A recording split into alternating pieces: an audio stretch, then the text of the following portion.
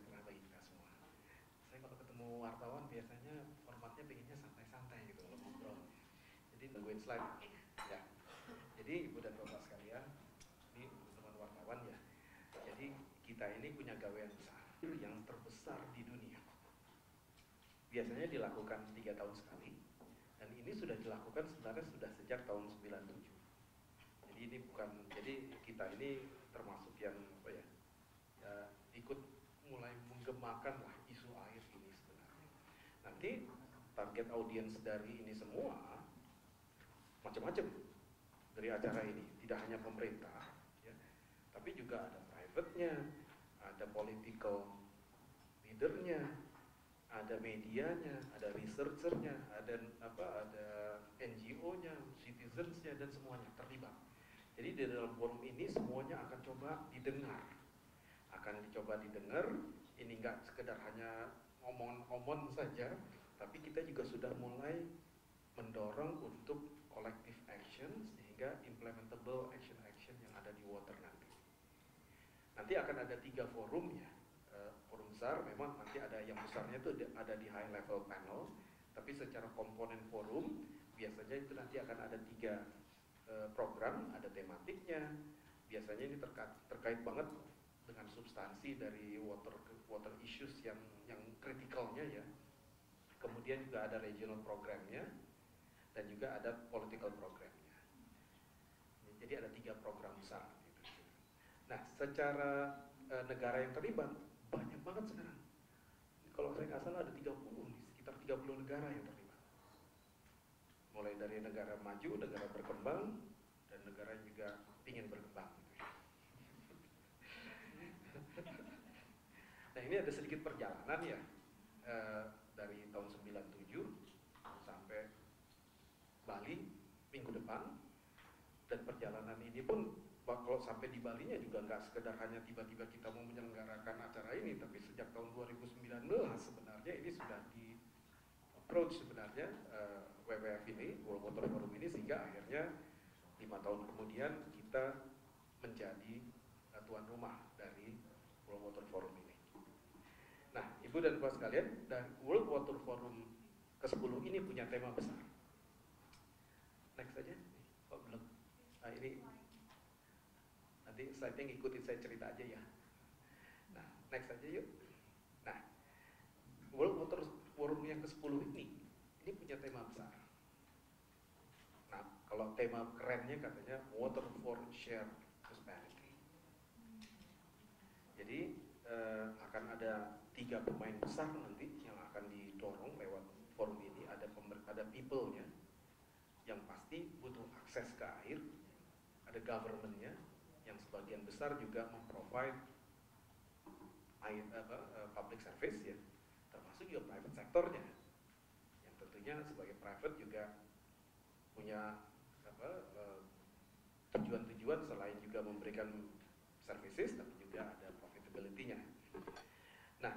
Uh, untuk aims for prosperity-nya sendiri ada setidaknya enam aspek yang mau ditekankan betul di sini. Mulai dari integrated water resource management-nya, bagaimana inovasinya, teknologinya. Jangan lupa ya, ini sekarang teknologi begitu penting di dalam uh, masalah sumber daya air ini. Kemudian yang tidak kalah penting juga active participation dari semuanya. Jadi nggak hanya sekedar pemerintahnya saja, tapi sekarang semuanya juga harus ikut. Targeted audience dari tema eh, dari forum ini begitu besar sekali stakeholdersnya. Termasuk sharing of interest dan yang tidak kalah penting juga bagaimana kita sekarang harus bisa mengincorporate local wisdom yang ada. Ini yang sering kali kita lupakan.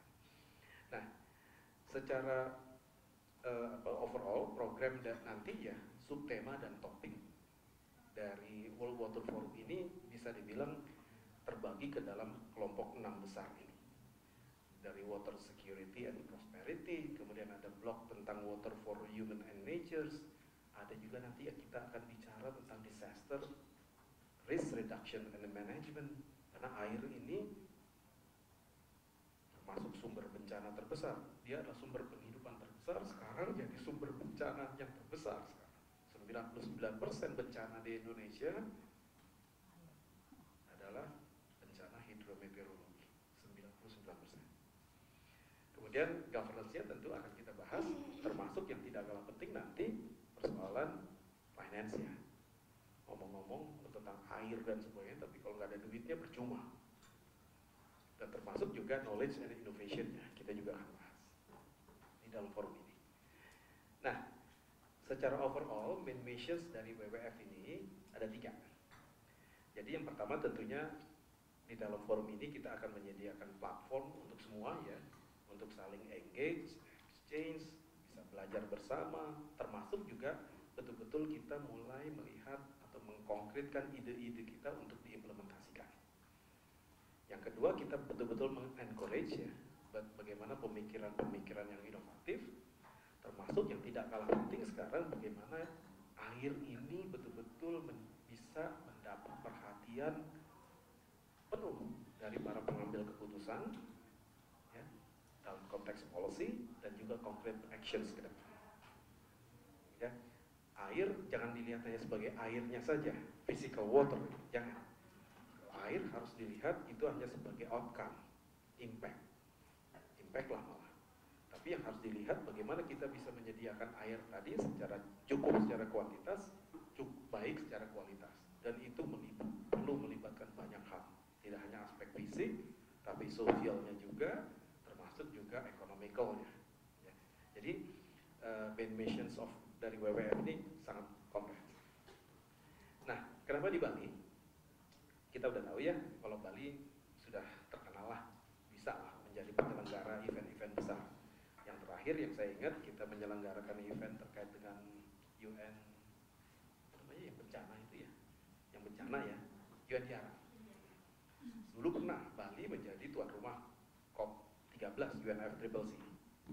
Jadi Bali udah udah inilah ya, secara fasilitas, secara akomodasi, secara teknikal, secara sosial juga acceptable untuk konferensi-konferensi besar.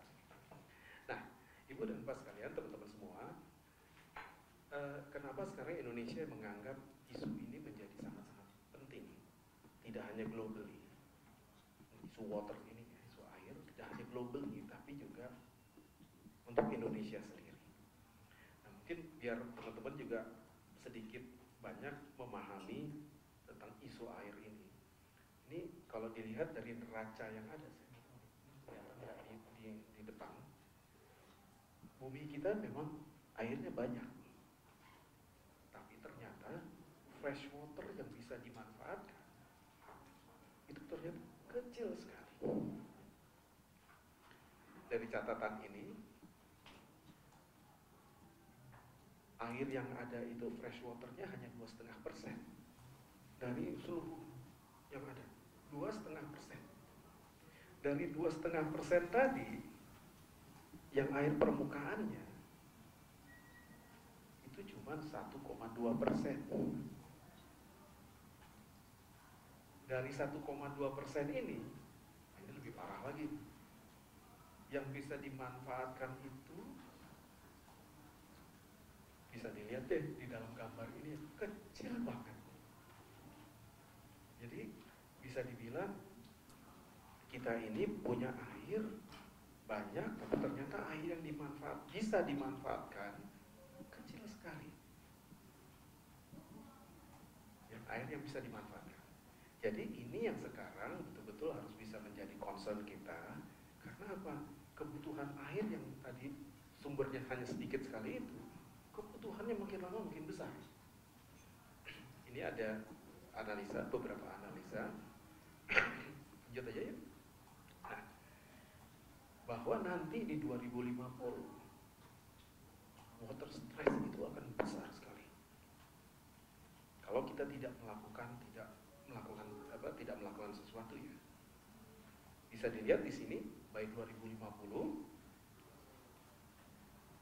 sebagian dari penduduk dunia akan mengalami water stress. Global water demand akan naik sampai 25% by 2050.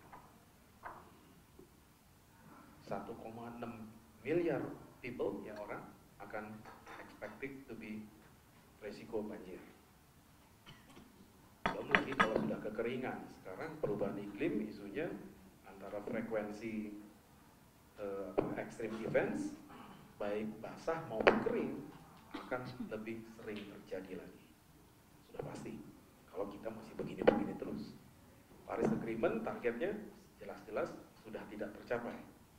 Sudah lewat target satu setengah derajat. Yang 2000 tahun maunya kan 2100 ya. Tahun ini sudah lewat. Bahkan tahun ini tahun terpanas. Diperkirakan tahun depan lebih panas lagi. Termasuk eh, apa, di urban area water scarcity. Nanti Bu bisa cerita nih. Water scarcity-nya udah parah banget. Jadi ibu dan bapak sekalian, sudahlah water demand-nya makin naik, water stress-nya makin tinggi ya. Di satu sisi air ini sudah menjadi ya tadi seperti saya sampaikan, menjadi sumber bencana kita. Water issue di Indonesia ini udah deh, pada saat basah barusan saja kejadian kemarin di Sumatera Barat. Pada saat kering ya sudah tahulah kita kebakaran di mana-mana. Next yuk.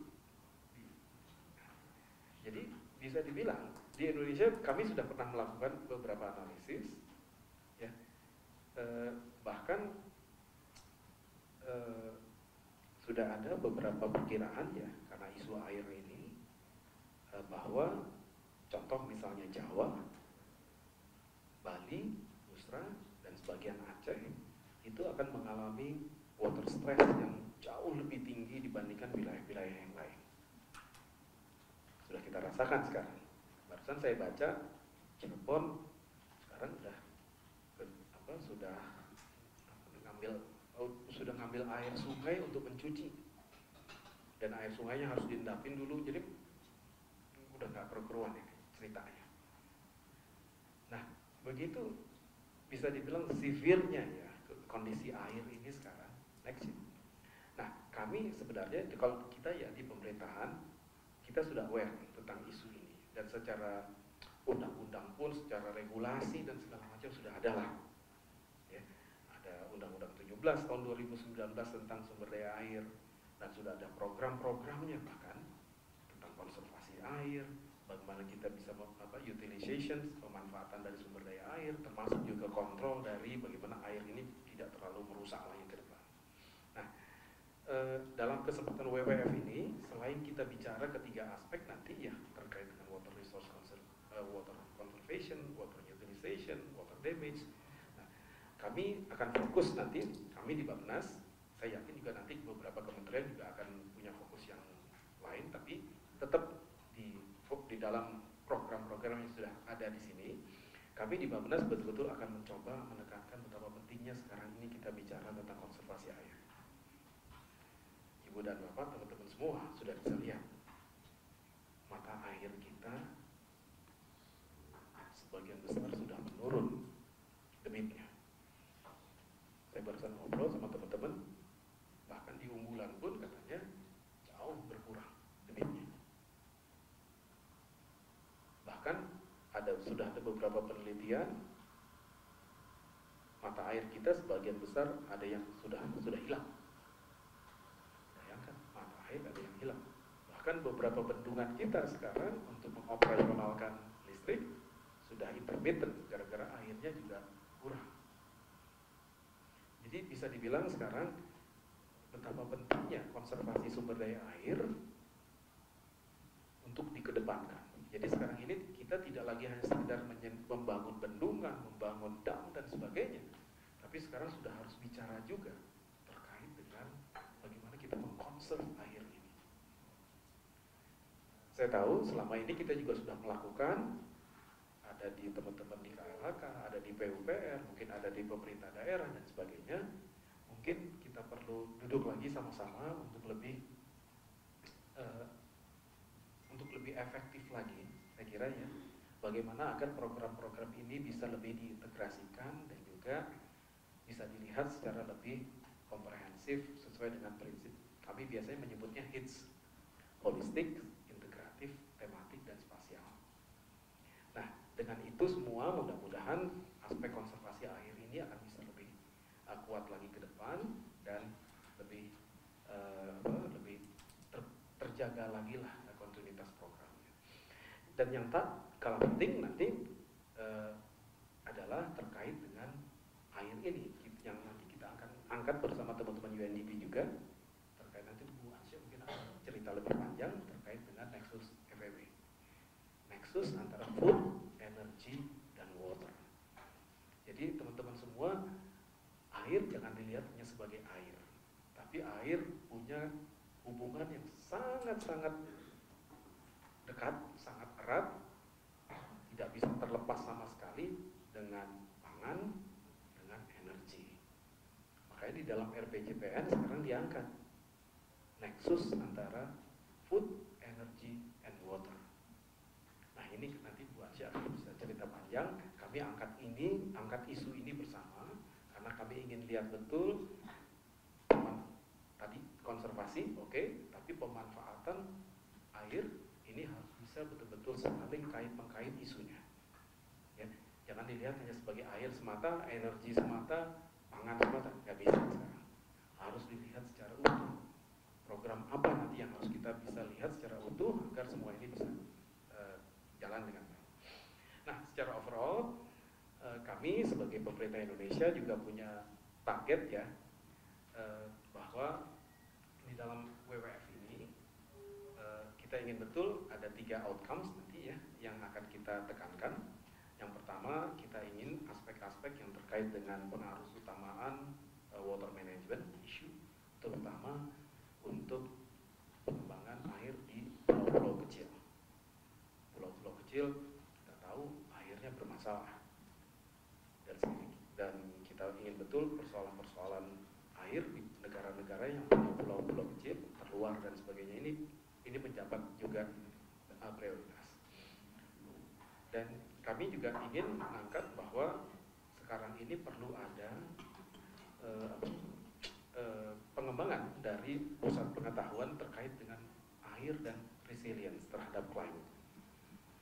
Ini sangat penting karena saat ini perubahan iklim sudah terjadi, sudah nyata kita rasakan, dampaknya kepada air pun juga sudah jelas dan kita tidak bisa gini-gini aja, harus tidak bisa tinggal diam, kita harus bisa juga mulai mengembangkan berbagai inovasi-inovasi, bahkan teknologi di Israel tuh sekarang nangkep air dari udara, seperti itu sekarang, air dari udara ditangkap banyak ya, air di udara sekarang ditangkap, bagaimana jadi air bisa kita minum, sudah ada teknologi.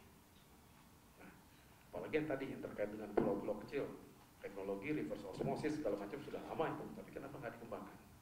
Nah, hal-hal seperti itu yang jadi center of excellence nanti ke depan yang perlu kita ingin tonjok betul di dalam forum WWF ini sehingga bisa menjadi mungkin ada penekanan-penekanan tertentu sehingga akan ada peluang-peluang investasi dan sebagainya. Dan yang tidak kalah penting kita juga ingin mengangkat peran penting dari danau. Jadi kita ingin uh, punyalah Hari Danau Dunia. Jadi kita ingin mengangkat betapa pentingnya sekarang ini danau sebagai water storage yang punya juga, yang bisa nanti dimanfaatkan juga untuk memenuhi kebutuhan air kita. Air tidak hanya untuk minum ya, air untuk macam-macam nih. Ada untuk irigasi, sekarang ada untuk energi dan sebagainya. Ada yang tahu nggak penggunaan air terbesar untuk apa? Terbesar itu sebenarnya untuk irigasi, untuk pertanian. Bukan untuk minum, tapi pertanian. Jadi sekarang ini jangan sampai dilihat, salah lihat bahwa hanya untuk minum, enggak, untuk mandi, enggak, untuk pertanian yang gede. Jadi harus dilihat, ya nanti berbagai. Nah, danau itu termasuk salah satu sumber air kita yang harus betul-betul kita bisa manfaatkan. Termasuk yang terakhir, the compendium of concrete actions, ya ini kan kumpulan dari action-action nanti dari berbagai forum itu akan kita kumpulkan ya nanti di dalam World Water Forum kita angkat menjadi global uh, deliverable actions. Nah, secara yang terakhir dari saya, ini tentunya uh, Indonesia juga selain menjadi host, tapi juga kita ingin mendapat benefit ya. Kita juga ingin tampil di dalam berbagai forum ya. Kita ingin mengangkat citra Indonesia uh, dan kita juga ingin menyuarakan sebenarnya apa sih pentingnya air sekarang ini uh, sehingga tidak lagi isu air ini menjadi isu-isu yang sebenarnya yang apa ya isu di bawah-bawah aja tapi ini isu harus menjadi isu utama nih Dan yang tidak kalah penting, kita ingin mengangkat bahwa semangat kolaborasi harus kita kedepankan. Gak bisa hanya satu instansi saja yang di depan, gak bisa. Harus kerjasama, tidak hanya satu kementeriannya saja, tapi juga berbagai kementerian, tapi juga nanti researchernya, begitu juga NGO-nya, dan yang tidak kalah penting juga media. Media, saya senang banget nih di sini teman-teman wartawan ada di sini karena media adalah airhead kita untuk merubah perilaku masyarakat. Kita harus bisa melibatkan melibatkan masyarakat ya dalam gerakan untuk air ini sehingga ya masyarakat juga berperan di dalam membantu tadi mengatasi uh, krisis air yang akan terjadi di kemudian hari. Mungkin uh, sebagai yang terakhir akan banyak nih partisipan biasanya ya kalau motor forum ramai banget. Jadi uh, kalau nanti di Bali ya istilahnya jangan kaget deh bahwa Motor Forum ini mungkin agak apa ya ada di sana di sini di mana-mana gitu ya pas di Nusa Dua. Tapi lihat betul bahwa ini kesempatan emas buat kita untuk mengangkat isu akhir ini menjadi isu yang betul-betul prioritas dan kita spirit kerjasamanya betul-betul kita tonjolkan di